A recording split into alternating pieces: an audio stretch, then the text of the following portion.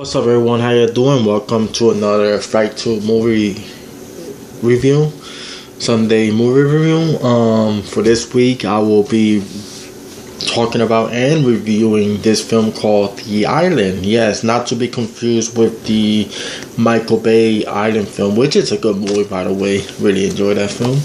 But this one stars um Michael Caine. Yes, Michael Caine. Um this movie was kind of weird uh, and it was alright. It was kind of slow paced at times. Um, I did like the opening sequence.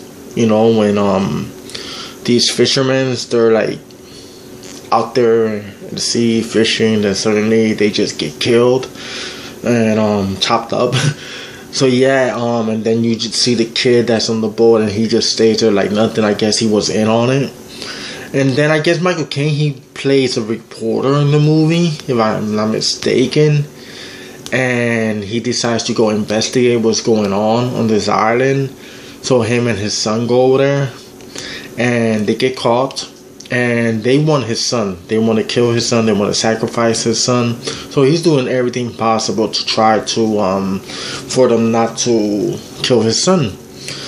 So um, they got him all chained up like a slave and all that stuff, and um, they're basically brainwashing his son. His son is like brainwashed, and his son eventually slaps his own father in the movie and all that stuff. And then um, so yeah um, they try to escape. Then they capture the son again. Then the climax scene in the boat when he's on with the big machine gun or whatever, you know, whatever type of gun it is, and he just killing everyone on the boat.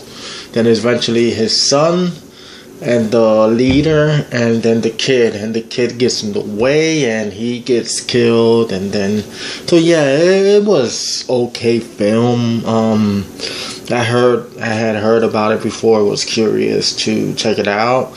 And it was okay. Like I said the opening sequence awesome. And there was another kill scene throughout the film, which I forgot. There wasn't that much.